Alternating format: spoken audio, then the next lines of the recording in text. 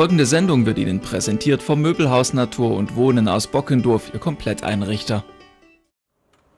Jemanden den Stuhl vor die Tür zu stellen, das ist sonst eine Angelegenheit, die nicht sehr erfreulich ist. In diesem Falle wurde aus der Not heraus eine Tugend gemacht. Weil wegen der Corona-Notfallverordnung auch Kastas kleines Kino in Pene geschlossen bleiben muss, hatte Kasta Hönige die Idee, Interessierten vor dem Kino Sitzmöglichkeiten anzubieten, um einen ganz besonderen Film anzuschauen. Die 60. Ausstellung. Die sollte eigentlich am 28. November eröffnet werden. Diese Ausstellung ist eine Weihnachtsausstellung und heißt alle Jahre wieder weil wir schon mehrere Jahre hier eine weihnachtliche Dekoration und Ausstellung von Künstlern im Kino organisieren.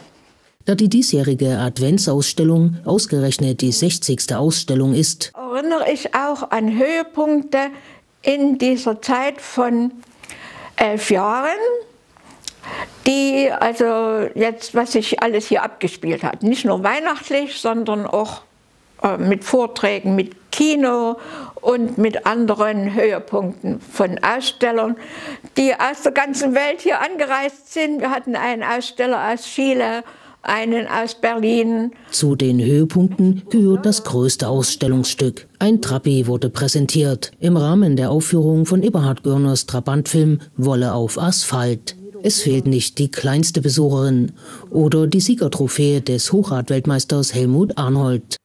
In den 60 Ausstellungen waren außerdem viele Werke von Hobbykünstlern aus der Region zu sehen. Ja, also wer sich hier traut auszustellen, der kann gerne kommen und kann sagen, ich biete das an und kann dann auch die Gestaltung selber vornehmen. Aber ich habe auch Bilderrahmen da, die kann, können genutzt werden und ja, man muss sich nur trauen. Auch in der 60. Ausstellung trauten sich erstmals welche. Es ist zum Beispiel der André Kaya. Als Hobby hat er die Fotografie und das Zusammenbauen von Kartonmodells. Das war was, was ich vorher auch noch gar nicht wusste, dass man das heutzutage machen kann. Es gibt Firmen, die liefern diese Modelle als als Ausschneidebogen und die Hobbyfreaks, die bauen das zusammen und leimen das zusammen und da entsteht ein wunderbares 3D-Modell er hat auch Flugmodelle, er hat Schiffe und ich habe mir gedacht, man müsste eine ganze Ausstellung von seinen Werken hier organisieren, aber jetzt haben wir uns in der weihnachtlichen Ausstellung auf die Frauenkirche beschränkt. Die Töpfergruppe im Waldhaus in Penich, die stellen auch zum ersten Mal hier aus. Die haben auch mal die Möglichkeit genutzt, sich vorzustellen. Die sind eigentlich immer ein bisschen äh, im Hintergrund. Manche wissen gar nicht mehr, ob die noch existieren. Ja, und dann haben wir noch einen, äh, einen Drechsler, der voriges Jahr schon seine großen Teller ausgestellt hatte. Der hat dieses Jahr gedrechselte Kugelschreiber im Angebot. Es war geplant, die Ausstellung bis 20. Dezember zu zeigen. Dadurch dass jetzt Corona ist und wir jetzt diese Schaufensterpräsentation haben, kann ich das auch noch länger stehen lassen. Es ist keine andere Ausstellung jetzt in Vorbereitung, also könnte ich mir sogar vorstellen, dass die Ausstellung bis in den Januar hineingehen kann. Da entscheide ich mich dann kurzfristig. Zurzeit kann man nur den Film von Wolfgang Spitlinski im Schaufenster sehen.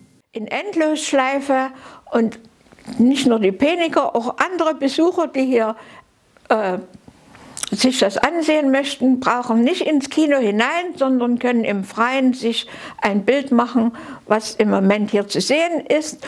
Und einige Exponate sind ja auch verkäuflich. Wer da Interesse hat, kann sich dann telefonisch melden und sein, seine Wünsche bekannt geben. Das wird dann ausgeliefert oder abgeholt an der Haustür.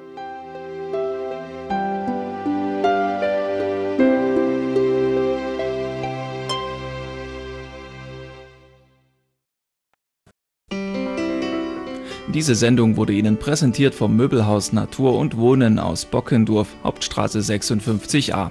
Sie finden bei uns trendige Einrichtungskollektionen mit passenden Polstern zum Wohlfühlen für die gesamte Familie.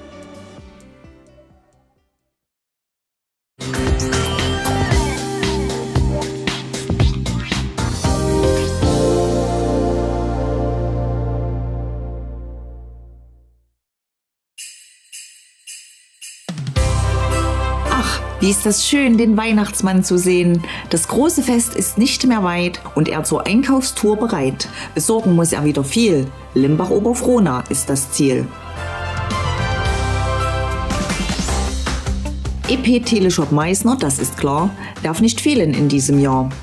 Mund-Nasenschutz aufgesetzt, auch wenn das überhaupt nicht fetzt. Um lokale Händler zu unterstützen, tut er gerne auch mal schwitzen. Auf gute Beratung legt er Wert und die, die ist hier nie verkehrt. Herr Meisner, der ist sehr auf Draht, hat immer einen guten Rat.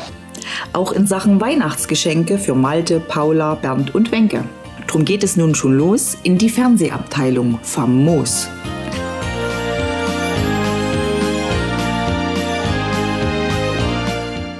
Achtung, aufgepasst! Panasonic Aktionswochen.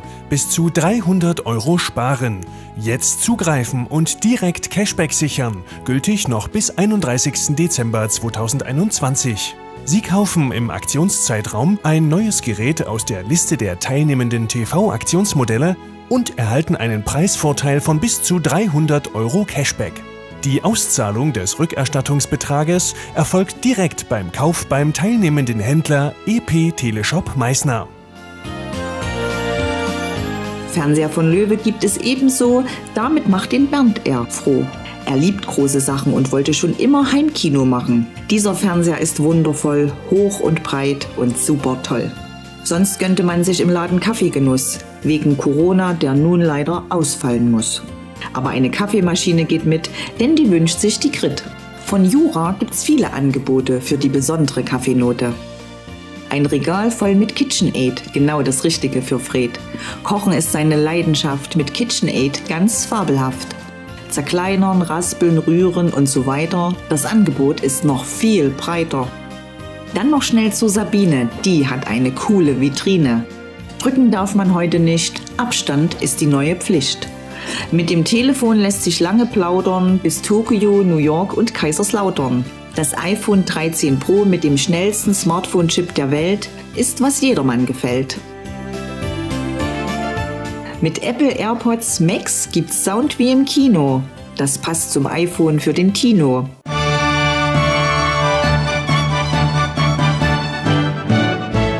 Rosafarbig will es Linda haben, also kommt es zu den Gaben bei EP Meisner jedes Jahr Geschenkekauf ganz wunderbar. In Limbach-Oberfrohna auf der Chemnitzer Straße. Als nächstes kommt der Osterhase.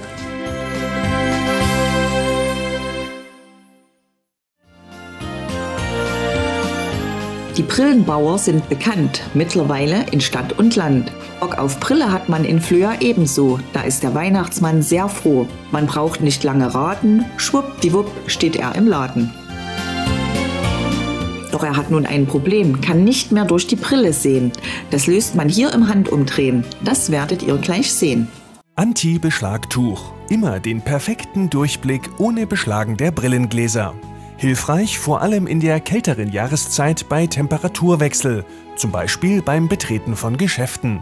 Schnell wurde Durchblick geschaffen, nun kann er wieder, nein, nicht gaffen. Staunen, was es für Brillen gibt, er ist entzückt, wie man sieht. Manchmal werden müde die Augen, da könnte er auch was gebrauchen. Vitamin-Trio. Vitamintropfen unterstützend für das Immunsystem mit Vitamin A, D und K. Vitamin A ist wichtig für die Augengesundheit. Die Tropfen bitte nicht in die Augen geben, man schluckt sie. Vitamine hat auch Honig viel. Das ist nun das nächste Ziel. Soziales Engagement mit Unterstützung der zwölf Brillenbauer-Filialen. Jede Filiale ist Pate einer Bienenbaute. Verkauft wird der Honig aus den zwölf Bienenbauten in allen Brillenbauer-Filialen. Ein Teil des Erlöses wird für einen guten Zweck gespendet. Eine tolle Weihnachtsgeschenkidee. Die Weihnachts-Special Edition. Nur solange der Vorrat reicht. Honig für einen guten Zweck ist fein. Also schnell in den Sack hinein. Eine Sache fehlt jetzt noch der Geschenkgutschein für Frau Bloch. Ein Geschenkgutschein, immer eine gute Idee. Der Wert ist frei wählbar und der Gutschein einlösbar in allen Brillenbauer-Filialen. Brillenbauer, wie gewohnt, hat sich auch diesmal sehr gelohnt. Nun schnell wieder in den Wald und die Geschenke, die bringt er bald.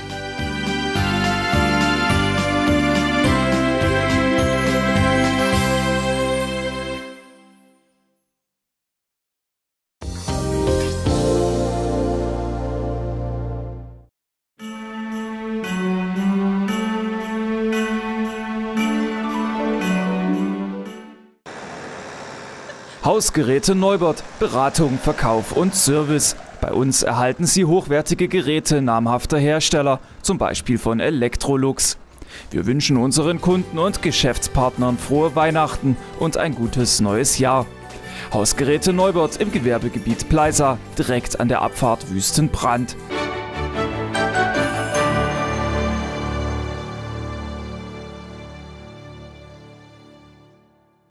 Wissen Sie, ich glaube ja nicht so an die Wissenschaft, weil die glauben auch nicht an mich.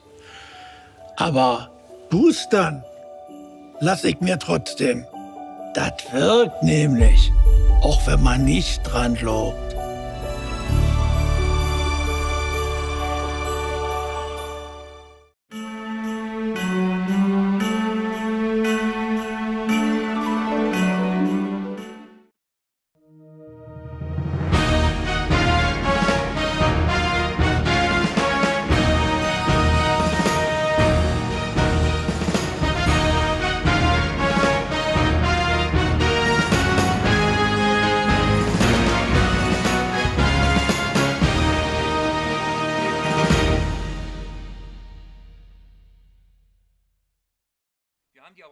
25. November fand vor dem Amerika-Tierpark Limbacher-Bofrona eine Geldübergabe statt. Die Geldtruhe brachte Ralf Besler mit. Das sind die Einnahmen aus der kostenlosen Zuckerwattenabgabe zu der Kulturveranstaltung Kulturerwachen in LU und auch vom Familientag. So, wir haben also kostenlos Zuckerwatte abgegeben und hatten immer ein Schwein davor stehen. Mhm. Und wer wollte, konnte etwas spenden. Und diese Spenden sind jetzt hier drin. 555 Euro und 96 Cent kamen zusammen, die der Tierparkförderverein einsetzen möchte.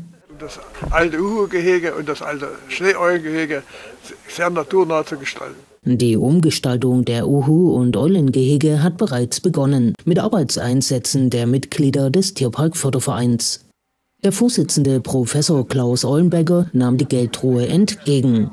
Willkommen sind im Tierpark nicht nur Geld, sondern auch Sachspenden. Da Weihnachten vor der Tür steht, wurde eine Wunschliste erstellt. Die kann man auf der Internetseite des Tierparks unter www.amerika-tierpark.de einsehen.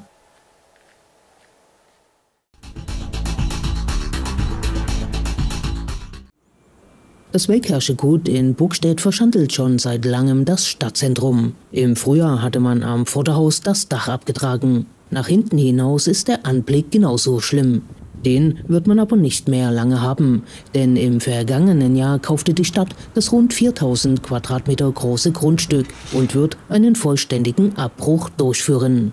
An verschiedenen Stellen erkennt man noch den Glanz des Gebäudekomplexes, der Mitte des 18. Jahrhunderts erbaut wurde und Teil der Geschichte der sächsischen Textilproduktion ist. Eigentlich sollten stadtbildprägende Strukturen erhalten bleiben, aber da die Schäden an den Gebäuden zu groß sind, bleibt nur noch die Abrissbirne. Nach dem Abbruch soll eine Fuß- und Radwegeverbindung entlang der Welgerschen Gasse entstehen. Es wurde im Wettbewerb ab in die Mitte ein Lichtpreis gewonnen. Das Lichtprojekt sollte pünktlich zum ersten Advent gestartet werden. Die Beleuchtung des Welgerschen Gutes über die dunkle Jahreszeit. Mit Langzeitbelichtung am Fotoapparat lassen sich durchaus in den Abendstunden interessante Schnappschüsse machen.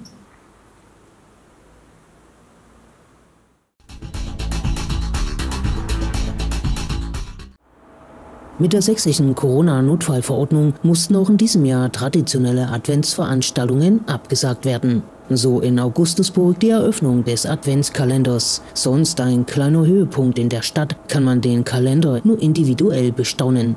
Erstmals stattfinden sollte in diesem Jahr in Limbacher-Frohnas Ortsteil Kendler ein Pyramidenfest. Die Pyramide ist neu und konnte auch dank der Unterstützung von Unternehmen im Ort aufgestellt werden. Das für den 26. November geplante Fest konnte leider nicht durchgeführt werden. Mit viel Publikum wurde in Vor-Corona-Zeiten die Pyramide in Hohenstein-Ernsthal angeschoben. In diesem Jahr war das für den ersten Adventssonntag geplant. Auch diese Veranstaltung musste abgesagt werden.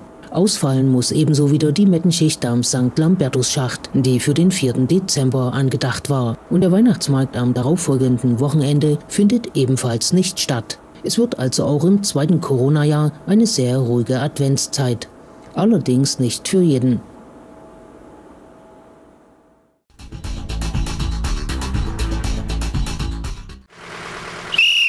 Ein wenig unter ging in diesem Jahr, dass die Museumsbahn Chemnitztal 20. Geburtstag hatte. Im Februar 2001 gründete sich der Verein Eisenbahnfreunde Chemnitztal mit dem Anliegen, ein Stück Bahngeschichte zu erhalten.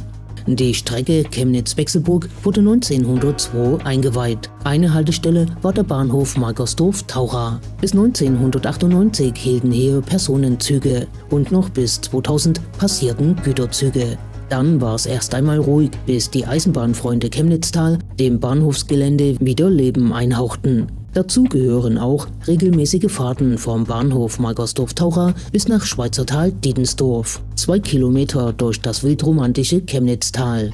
In den 20 Jahren seit Bestehen des Vereins hat sich auf dem Bahnhofsgelände in Margersdorf-Taucher einiges getan. Man hätte gern mit zahlreichen Jubiläumsgästen auf das Erreichte angestoßen. Doch, so der Vorsitzende Robin Helmert, die Pandemie hält auch die Vereinsarbeit im Würgegriff.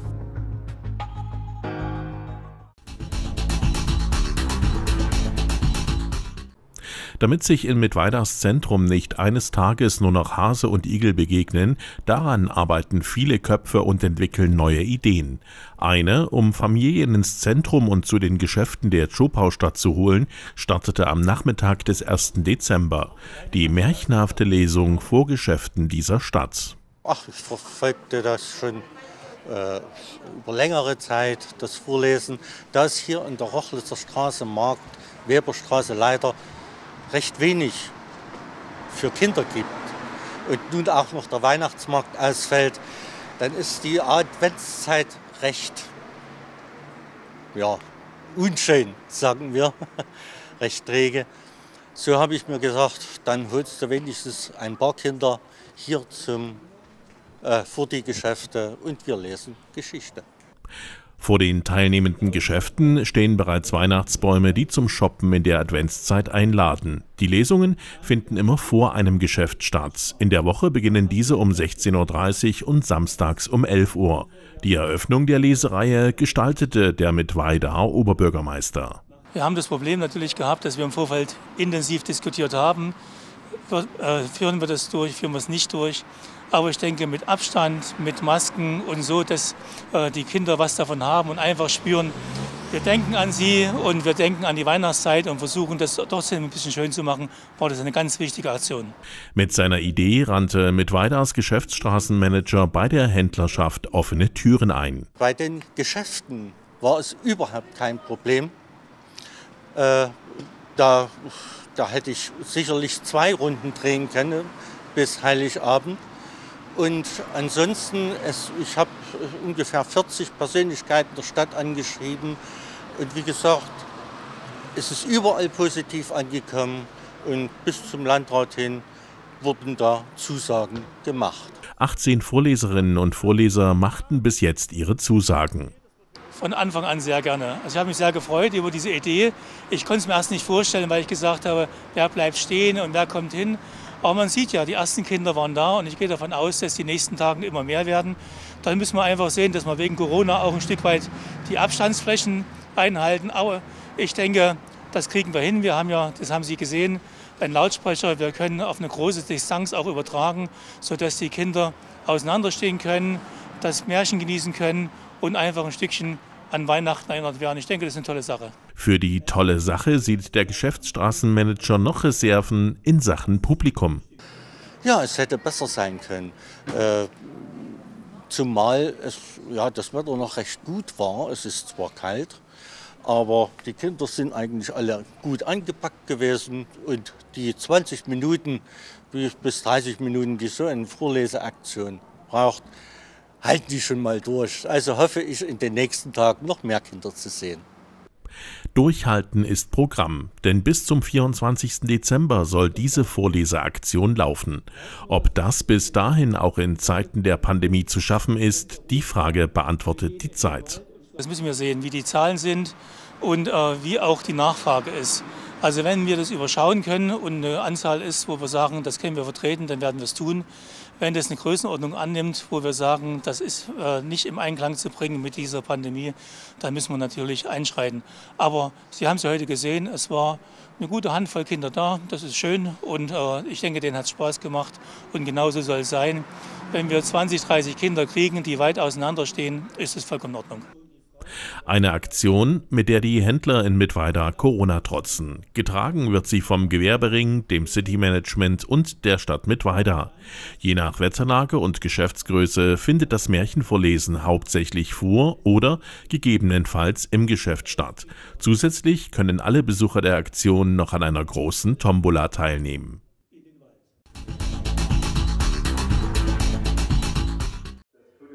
Bei einem Pressegespräch am 26. November stellte Limbacher Frohnas Bürgermeister Robert Volkmann zusammen mit Olaf Müller vom Handels- und Gewerbeverein den Stadtgutschein für Limbacher Frohna vor. Der Slogan der Aktion ist Fahr nicht fort, kauf hier im Ort. Seit Corona das Land im Griff hat, ist die Situation für lokale Händler, Gastronomen etc. noch schwieriger geworden, als es für manchen schon vorher war. Man hat nun das Gutscheinformat gestartet, Erstens, weil wir wissen, dass es in anderen Städten hier in Sachsen schon sehr gut funktioniert.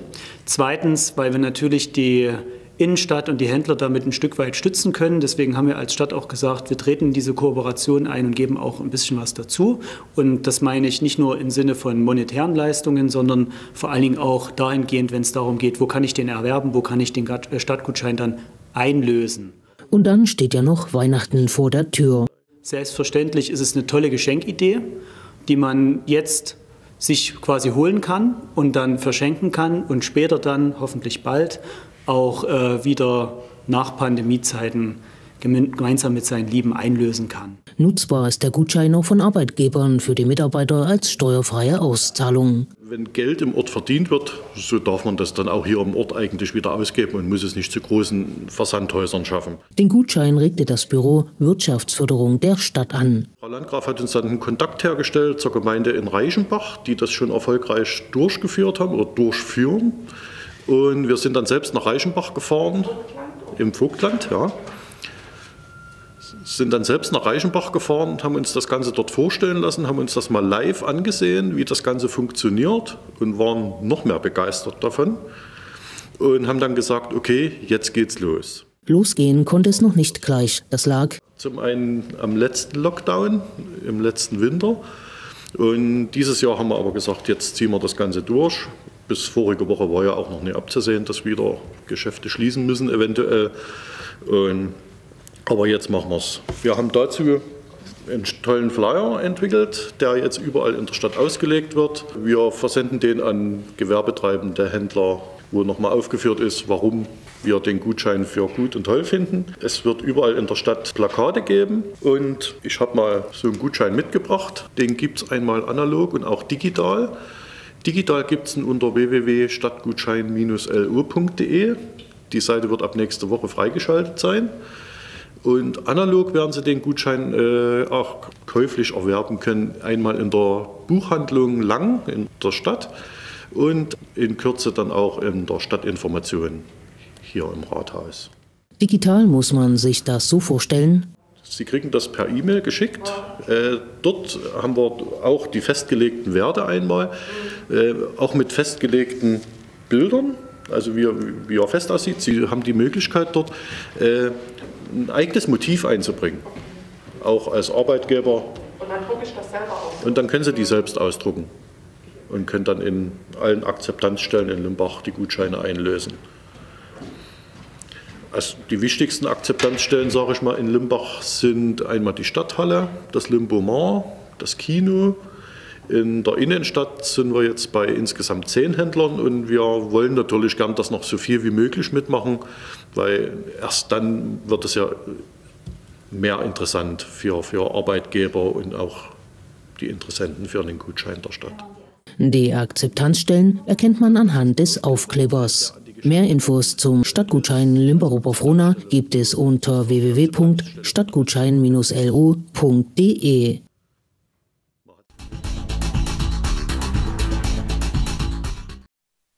Am Vormittag des 29. November öffnete die Seelitzer Schmalzbäckerei auf dem Parkplatz vor dem Kaufland in Mittweida ihre Jalousien.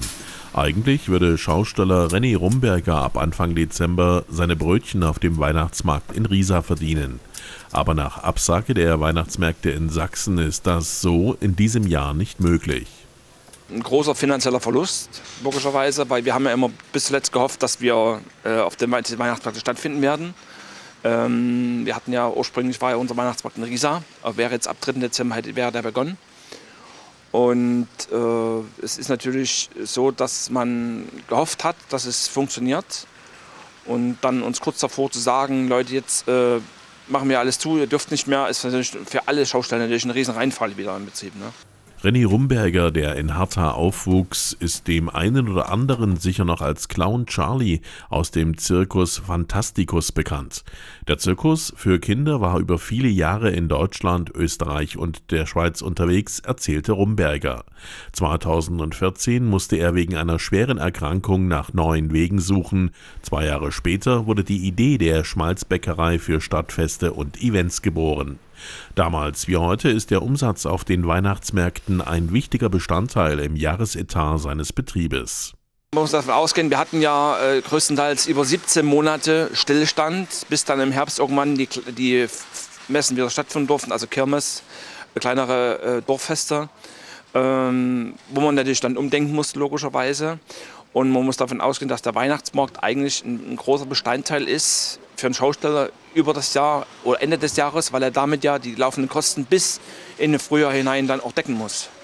Wie viele Schausteller ist Rumberger unverschuldet auf die Unterstützung seiner Kundschaft angewiesen. Staatliche Hilfen allein werden es wohl nicht richten, weiß der 42-Jährige und hofft auf die eine oder andere Spende. Es wird sicherlich staatliche Hilfen geben. Es gibt ja diese Überbrückungshilfen, Corona-Soforthilfen. Aber äh, das Problem ist, dass der bis dahin entstandene Schaden, den man hat, Einkauf von Waren, also verderblichen Waren, ich beziehe es immer auf verderbliche Waren, dadurch ja nicht gedeckelt wird. Auf den, auf den Kosten bleibt man eigentlich sitzen, je nachdem, was man halt für ein Geschäft hat. Ja, angefangen vom, äh, wie unser Schmalz, äh, Schmalzgebäck äh, bis hin Süßwaren etc., die sind ja auch nicht unendlich haltbar, muss man davon ausgehen. Ja. Wann, wo und wie oft Rumberger seine Kräppelchen und Quarkbällchen nach überlieferten Familienrezepten im nächsten Jahr verkaufen kann, ist für ihn ein Blick in die Glaskugel. Ähm, naja, gut, man muss natürlich gucken, wie sich die ganze Situation entwickelt, wie es weitergeht. Wir haben ja, wie gesagt, jetzt eine neue, eine neue Mutation eines Viruses, ähm, wie, wie das dann im Allgemeinen weitergehen wird für uns. Ähm, das kann man bis jetzt noch nicht beziffern. Klar guckt man logischerweise schon mal ein bisschen, wo die Reise hingehen könnte. Aber direkt planen kann man bis jetzt, zum jetzigen Zeitpunkt noch nicht wirklich. Von der Absage der Weihnachtsmärkte in Sachsen betroffen sind auch die Brückners. Sie haben ihren Verkaufsstand in der Breitenstraße in Döbeln aufgestellt. Seniorchef Stefan Brückner sieht die Schwierigkeiten nicht nur für sein Geschäft. Ja, ist schon schwierig. Es betrifft, äh, betrifft ja jetzt die Marktbetreiber, die Schausteller, teilweise den Einzelhandel, die den ganzen Sommer dafür gearbeitet haben, damit sie zu den Weihnachtsmärkten ihre Waren verkaufen können. Es wurde Waren eingekauft für die Weihnachtsmärkte und das Geld, was man sich im Sommer erarbeitet hat, hat man eben in die, in die Waren gesteckt und jetzt fällt alles weg. Da hängen viele Existenzen dran und ich gehe, gehe davon aus, dass da bestimmt einige Kollegen da das nicht überleben. Der vierköpfige Familienbetrieb der Brückners, die Sunrise Eismanufaktur, ist mit ihrem mobilen Speiseverkauf eigentlich fester Bestandteil auf den Festen und Weihnachtsmärkten der Region. Im Zentrum der Muldestadt arbeiten sie daran, Verluste zu minimieren und die Unkosten zu deckeln. Ja, wir haben jetzt äh, verschiedene kleine Weihnachtsmärkte, hätten wir. Und äh, die sind ja nur alle weggefallen. Da sind wir an die Stadt Döbel herangetreten und möchte mich erstmal nochmal herzlich bedanken bei der Stadt Döbeln, dass sie das möglich gemacht haben, wie im letzten Jahr, dass wir mit unserem Stand, wo wir jetzt äh, alkoholfreie Getränke anbieten, wir bieten Bratwurst an, wir haben Glühwein, alkoholfrei und sowas und dass es möglich gemacht wurde, dass wir in der Vorweihnachtszeit hier stehen dürfen und wenigstens die Kosten decken dürfen. Auf staatliche Hilfen hoffen die Brückners nicht, auf ihre Kundschaft aber schon.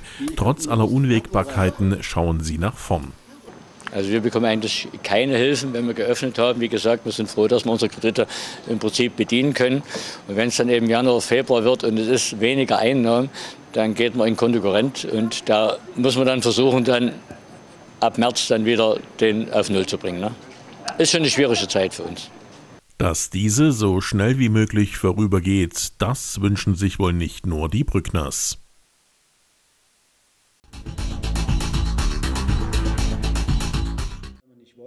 Die derzeitige Corona-Situation war für den Bürgermeister Robert Volkmann Anlass, bei einem Pressegespräch am 26. November darüber zu informieren, wie es aussieht mit Testen und Impfen in Limburg-Frohnau. An seiner Seite Wolfgang Dorn, der Geschäftsführer der Stadthalle Limburg-Frohnau. Der aktuell der einzige Betreiber eines Testzentrums, namentlich unsere Stadthalle, hier im Stadtgebiet ist. Nachdem es eine Zeit ganz ruhig war, wie wir alle wissen, ist ja am 12. Oktober dieser Bürgertest nicht mehr kostenlos gewesen, was zur Folge hatte, im Zusammenhang mit damals noch vertretbaren Regelungen in Bund und in Land, dass äh, die Nachfrage massiv runtergegangen ist nach solchen Tests und was zur Folge hatte, dass die meisten Anbieter, insbesondere die privaten Anbieter, sehr schnell vom Markt verschwunden sind. Das heißt, Angebot der Nachfrage folgend weg. Wir haben uns damals entschieden als Stadt, dass wir das Angebot beim Herrn Dorn der Stadthalle als kommunales Testzentrum belassen. Genauso wie wir uns im September noch dazu durchgerungen haben, auch weitere Impfangebote zu machen, wo viele andere gesagt haben, das lohnt sich doch gar nicht mehr. Und äh, im Nachgang muss ich sagen, es ist gut, dass wir es gemacht haben.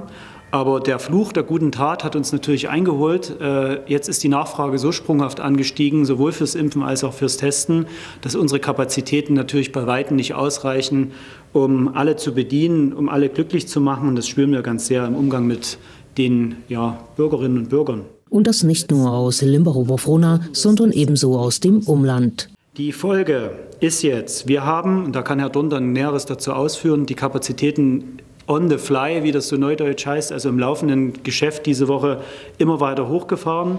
Ähm, also da ganz großen Dank an die Stadthalle, an das Team, weil das war eine unglaubliche Belastung, weil parallel ja trotzdem auch diese Woche wieder das Impfgeschehen stattgefunden hat. Und ähm, wir haben als Stadt und als Wirtschaftsförderung äh, natürlich auch geguckt, was können wir tun, wen sprechen wir an. Die schlechte Nachricht zuerst, der Betreiber der zwei großen privaten Testzentren, den viele von Ihnen ja kennen, der ist nicht mehr bereit, das noch einmal zu machen.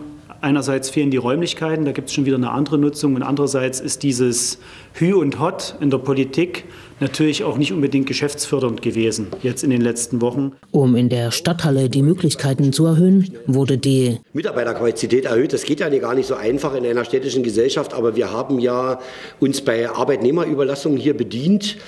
Äh, jetzt sind die natürlich auch gebeutelt, weil da auch fast keiner mehr ist. Die ganzen äh, Servicekräfte und so aus der Gastronomie sind ja dort auch nicht mehr. Die Mitarbeiter werden für die Teststationen benötigt. Und wir haben jetzt zwei Teststationen seit Mittwoch und wir testen im Durchschnitt so knapp 300. Also wir machen so 300 Testungen. Äh, am, Ta am Tag, genau. Am 29. November kam eine dritte Teststation hinzu. Was die Tests angeht. Also Selbsttests, einfache Selbsttests kriegen wir gar nicht mehr. Wir kriegen nur noch Profitests, aber auch nur deshalb, weil wir eine sehr gute äh, Handelsbeziehung zu zwei Großhändlern aufgebaut haben. Äh, Profitests, die dürfen Sie verwenden in Nase und Mund, weil ja bei uns äh, zu den Testungen sehr viele Bürger kommen, die sagen, also in der Nase überhaupt nicht, dann in den Mund. Und die, ein, die, die einfacheren Tests sind meistens entweder nur für die Nase oder nur für den Mund oder ganz weit hinten in der Nase oder ganz weit hinten im Rachen. Und deshalb haben wir sogenannte Profitests, die also auch bei einer geringeren Virenlast schon relativ schnell anschlagen. Und als dann eben so die Zeit war, wo nur noch acht Leute zum Testen kamen oder drei Leute zum Testen kamen oder fünf, haben wir dann natürlich mit Herrn Volkmann zusammen auch diese Entscheidung getroffen, das hier offen zu lassen. Äh, weil sonst ja der Bürger gar keine Möglichkeit mehr hat, hierher zu gehen. Jetzt ist die Nachfrage wieder sprunghaft angestiegen. Seit 1. Dezember gibt es auf der Albert-Einstein-Straße 32 ein weiteres neues Testzentrum. Ich habe mit Frau Ludwig, die das, die das betreiben will, gestern Abend noch mal länger telefoniert, dass sie insbesondere die frühen Stunden am Morgen mit abdecken kann und möchte, wo wir, sage ich mal, eben auch aufgrund der Tatsache, wie so eine Stadthalle läuft und wie eigentlich auch die, das Veranstaltungsgeschehen immer organisiert wird, das findet ja eher am Abend statt, ähm, dass wir dort auch sage ich mal, uns nicht ins Gehege kommen, sondern ganz im Gegenteil, dass die Nachfrage sagen wir, über den Tag verteilt über die verschiedenen Anbieter dann laufen kann. Aber ich denke, dass das Nachfrageproblem kriegt man so schnell mit diesen Maßnahmen trotzdem nicht gelöst, weil einfach von 100 auf 0 und dann wieder von 0 auf 100 mit ungewisser Zeitperspektive, das muss man ja auch immer dazu sagen. Niemand weiß, äh, wie die Nachfrage sich entwickelt, wenn jetzt wirklich äh, die Regierenden feststellen, es muss in einen harten Lockdown gegangen werden, es müssen Leute zu Hause bleiben, dann kann natürlich die Nachfrage an Tests wieder abflauen. Die Preisentwicklung, die ich mitgekriegt habe, ist mindestens eine Vervier- oder Verfünffachung äh, in den letzten ja, zwei Wochen dieser Testkits. Und dann sieht man schon, wie weit das gerade für einen privaten Anbieter wirtschaftlich und eigenwirtschaftlich möglich ist. Das bleibt trotzdem eine ganz, ganz große Frage. Das nützt dir nichts, wenn du auf den Test jetzt angewiesen bist. Aber ich hoffe, dass man, dass man irgendwo auch einsieht, es bringt jetzt nichts, das Personal der Stadthalle irgendwie anzugehen und den Frust dort auszulassen, weil die können genauso wenig was dafür wie wir, wie wir hier sitzen. Wir müssen einfach versuchen, das irgendwo in den Griff zu bekommen und dass es einigermaßen läuft. Wenn uns das schon gelingt, dann bin ich sehr zufrieden, weil, wie gesagt, einen großen Vorlauf hatten wir nicht. Ein weiteres Problem ist das Impfen. Aber ich glaube, man ist in Bewegung und in den Möglichkeiten, ob das DRK vielleicht nicht noch einige Termine bei uns findet. Aber da können wir, glaube ich, noch keine Aussage drüber treffen. Ne? Die Entscheidung äh, obliegt dem Landratsamt, das heißt unserem Landrat und seinem Team und natürlich denjenigen, die Verantwortung tragen beim DRK. Es ist ja das klare Bekenntnis der Staatsregierung gewesen, dass für die Landkreise neue mobile Teams kommen sollen, nach Möglichkeit ab dem 1. Dezember. Und natürlich haben wir uns auch wieder ins Spiel gebracht. Äh, wir beherrschen das Spiel ja nur seit dem Frühjahr ganz gut, denke ich. Limbacher-Oberfrohna bot auch diesmal an, den mobilen Impfteams die Stadthalle kostenlos zur Verfügung zu stellen. Und wenn ihr zu uns kommt, übernehmen wir auch das telefonische Bestellsystem. Auch hier ist natürlich das ganz, ganz große Problem. Äh, und das habe ich gestern wieder gemerkt, wo wir eben für den 1.12. die Hotline freigeschalten haben. Es hat keine Stunde gedauert, da waren alle Termine weg. Gleichzeitig ist das Verhältnis Anrufende und Durchkommende, die einen Mitarbeiter zu sprechen bekommen, schätzungsweise bei 1 zu 10 gewesen. Also für die 120 bis 150 festen Termine, die man für so einen Tag vergeben kann, ähm, kann man sagen, das Anruferaufkommen war mindestens zehnmal so hoch und es war aus dem ganzen Landkreis, beziehungsweise zum Teil auch aus Chemnitz, weil einfach der Mangel und die Not bei den Leuten groß ist. 85 Prozent, tendenziell sogar noch ein bisschen mehr, sind Boosterimpfungen. Also das, was sozusagen durch eine unglaubliche Erwartungs- und zum Teil auch Angsthaltung geschürt wurde hier von Bund und von Land als so schützt euch, schützt euch, schützt euch, ähm, was aber eben keine, keine Angebotserhöhung jetzt erstmal zur Folge hatte. Das trifft hier mit einer Wucht auf uns, aufs Rathaus, eben auch wieder auf die Stadthalle vor Ort. Ähm, das geht gar nicht so sehr um, um meine Person, sondern mir geht es eigentlich um die Leute, die an der Hotline stehen und sitzen und, und wirklich diese Frustration der Menschen sehr deutlich zu spüren bekommen und eigentlich auch nur sagen wir, ihren Job versuchen zu machen. Und das, das, das bewegt mich und das, das, ärgert mich auch, weil ich denke, wir geben uns da große Mühe, aber du, du kannst im Prinzip, wenn, wenn du nur ein Glas Wasser hast und du bräuchtest eine riesen Kanne, äh, kannst du ja nicht was herzaubern, was nicht da ist. Und ähm, was wirklich richtig doof gelaufen ist, also wir haben ja noch im September die Leute, die wir gefahren haben vor einem halben Jahr, wo wir wussten, die sechs Monate sind um. Und bevor das so durch, durch äh, die Politik und dann durch die Medien weitergegeben wurde, aufgerufen zur Boosterimpfung, die Leute angeschrieben. Ähm, das waren um die 700 Schreiben, die rausgegangen sind. Und wir haben dann auch 400 äh, Leute geimpft, 100 Leute nochmal gefahren, wo wir sagen, das sind die besonders gefährdeten Personengruppen, die das auch unbedingt aus medizinischer Sicht brauchen, ne, wo wir sagen, die sind auf diese Drittimpfung, auf das Boostern angewiesen. Und das haben wir noch gemacht. Das war am 27., 28. September, das hat vorzüglich geklappt. Und ich finde das dann immer schade, wenn jetzt, so lange ist es nicht her, sind sechs Wochen vielleicht, ähm, so kritisiert wird, dass wir das nicht besser hinkriegen. Also wir haben versucht, diese Welle vorne wegzunehmen, bei denen, wo wir es einfach wussten aus eigenem Erfahrungsschatz. Und seitdem bieten wir ja trotzdem immer wieder Impftermine an. Aber es gibt von Bund und Land keine Priorisierung.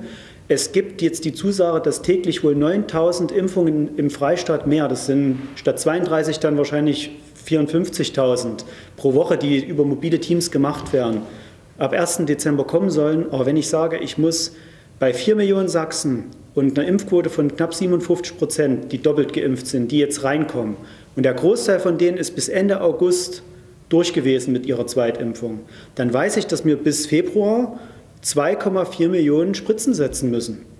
Und da reicht diese, das, das funktioniert nicht, das geht nicht auf. Also das Kapazitätsproblem, das wird noch viel, viel größer und das löst du mit einem mobilen Team mehr oder weniger pro Landkreis auch nicht auf.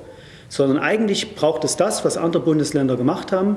Die haben ihre Impfzentren, trotz dass sie leer gelaufen sind, dass keine Nachfrage war, weil wir eben uns in einer gewissen Sicherheit alle gewogen haben miteinander, die haben die aufgelassen. Die haben auch den Druck, aber die kommen natürlich viel besser zurecht. Und ähm, das ist eigentlich hier das richtige Problem, was wir sehen, dass es keine Impfzentren gibt. Dort haben wir ja schließlich die Leute im Frühjahr hingefahren. Mit denen haben wir äh, argumentiert und haben geguckt, schickt uns mal eins von euren mobilen Teams irgendwie in die Stadthalle. Und dann haben wir eben auch gefiltert nach Prioritäten, nämlich die, die am meisten den Schutz benötigen.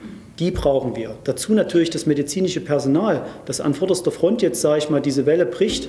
Ähm, man kann ja immer hin und her diskutieren, wie schlimm ist es wirklich. Mir fehlen da natürlich tiefen Infos, die andere in der Landes- und Bundesregierung sicherlich haben.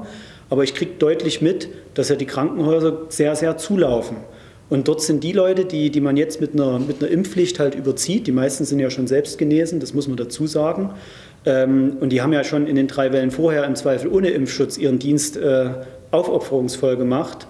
Ähm, und jetzt kann man selbst den Leuten im Zweifel keine, keine Impftermine anbieten oder was. Also das, das, das funktioniert irgendwie ineinander nicht. Und das ist sehr frustrierend für uns alle.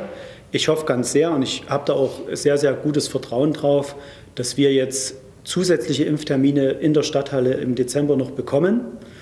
Dort werde ich mit dem DHK aber auch dahingehend sprechen, nicht nur, dass wir einen Telefonservice haben, sondern dass wir für unsere eigene Bevölkerung und dort gegebenenfalls, wenn es uns gelingt, auch priorisiert nach entsprechend Alter, den medizinischen und Pflegeberufen und gegebenenfalls Vorerkrankungen, dass wir dort irgendwo versuchen, die, die, dieses Angebot so in die Nachfrage reinzubekommen, ähm, dass es wirklich was hilft und dass wir wirklich dort schützen, wo es am dringendsten ist.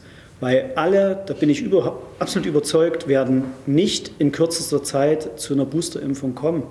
Und genauso ist es mit denen, die jetzt immer stärker genötigt werden, sich die Erst- und Zweitimpfung zu holen. Es ist auch eine Frage, ob das überhaupt möglich ist.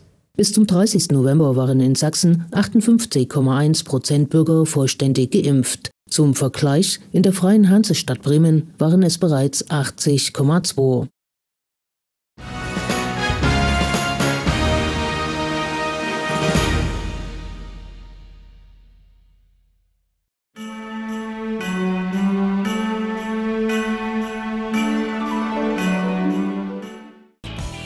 Telefon und Internet zu teuer? Die Technik soll bleiben? Wir liefern Telefon und schnelles Internet preiswert über Ihren Kabelanschluss. Erfahrene Techniker installieren vor Ort. Die Formalitäten erledigen wir. Vorhandene Rufnummern bleiben. Unsere Tarife sind flexibel. Lassen Sie sich telefonisch oder im Laden beraten. Sie nutzen Sie unseren Computer, Drucker, Telefon und Sendersuchlaufkundendienst. Wir sind immer von Montag bis Freitag 7 bis 17 Uhr für Sie da. Burgstedt, Chemnitzer Straße 11, Parken vor der Ladentür. Wir gegen Corona helfen Sie weiter mit. Zu Hause bleiben hilft, schützen Sie sich und andere. Vermeiden Sie Kontakte, wo immer es geht. Vernunft und Impfen helfen. Bitte informieren Sie sich über die Maßnahmen auf coronavirus.sachsen.de.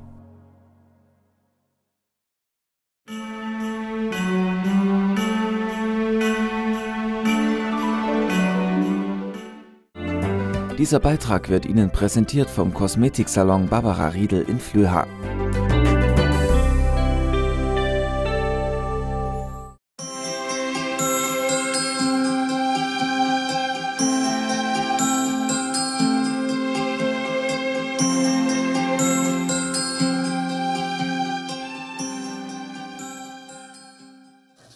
Katze und Maus in Gesellschaft.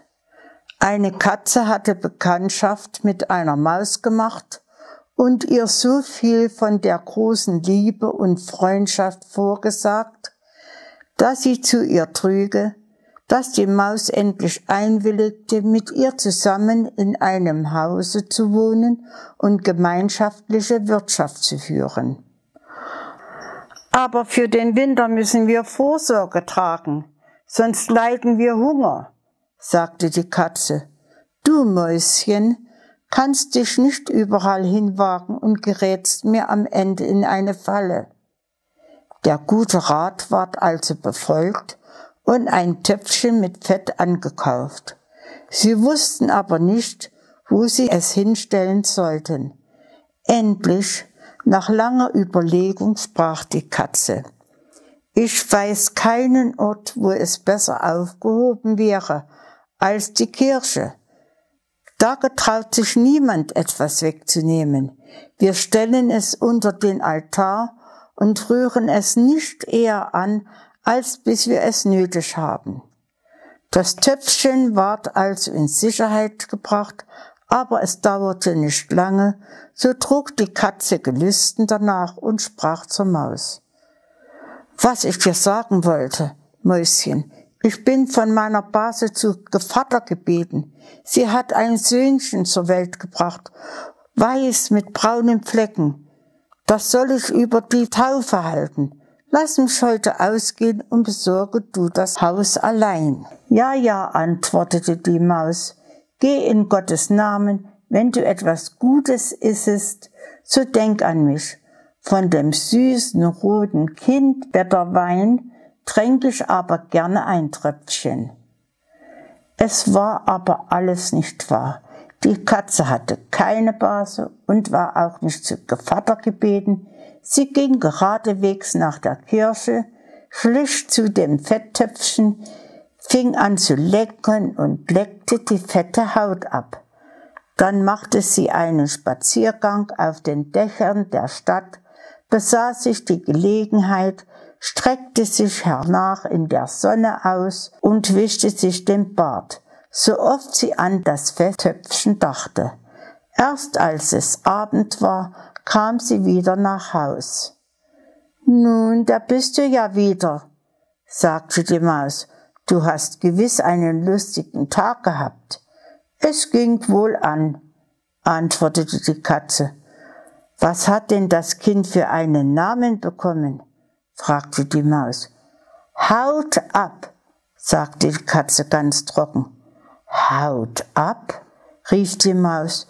Das ist ja ein wunderlicher und seltsamer Name. Ist der in eurer Familie gebräuchlich? Was ist da weiter? sagte die Katze. Er ist nicht schlechter als Bröseldieb, wie deine Paten heißen. Nicht lange danach überkam die Katze wieder ein Gelüsten. Sie sprach zur Maus. Du musst mir den Gefallen tun und nochmals das Hauswesen allein besorgen. Ich bin zum zweiten Mal zu Gevatter gebeten. Und da das Kind einen Waisenring um den Hals hat, kann ich's nicht absagen. Die gute Maus willigte ein. Die Katze aber schlich hinter der Stadtmauer zu der Kirche und fraß den Fetttopf halb aus. Es schmeckt nichts besser, sagte sie, als was man selber isst und war mit ihrem Tagewerk ganz zufrieden. Als sie heimkam, fragte die Maus, wie ist denn dieses Kind getauft worden? Halb aus, antwortete die Katze. Halb aus? Was du sagst, den Namen habe ich mein Lebtag nicht gehört. Ich wette, der steht nicht im Kalender. Der Katze wässerte das Maul bald wieder nach dem Leckerwerk. Aller guten Dinge sind drei, sprach sie zu der Maus. Da soll ich wieder, Gevatter, stehen. Das Kind ist ganz schwarz und hat bloß weiße Pfoten, sonst kein weißes Haar am ganzen Leib. Das trifft sich alle paar Jahre nur einmal. Du lässest mich doch ausgehen. Haut ab, halb aus, antwortete die Maus. Es sind so kuriose Namen, die machen mich so nachdenksam.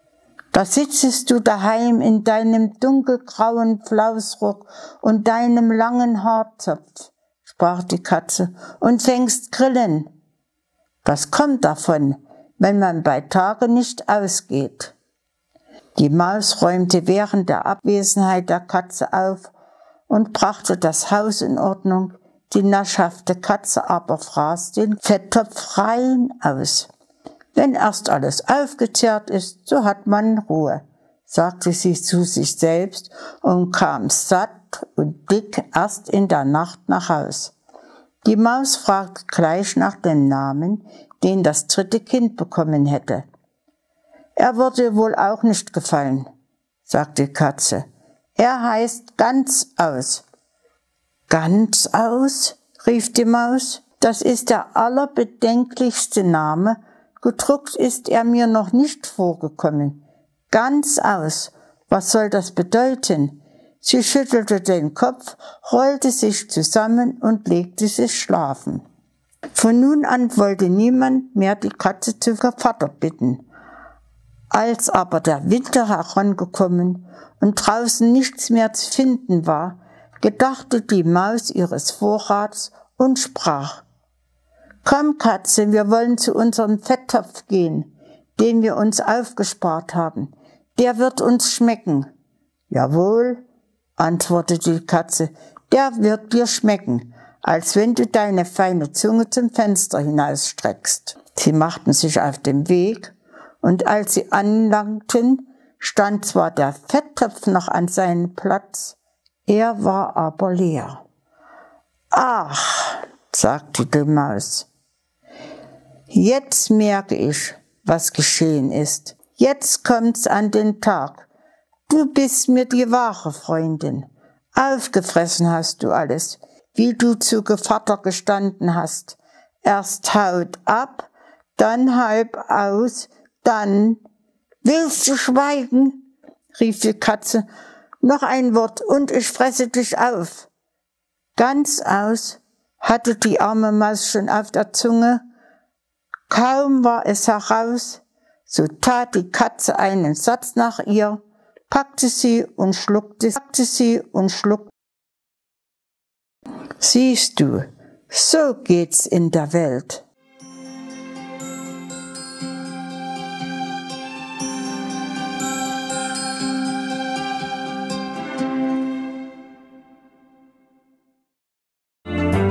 Dieser Beitrag wurde Ihnen präsentiert vom Kosmetiksalon Barbara Riedel in Flöha.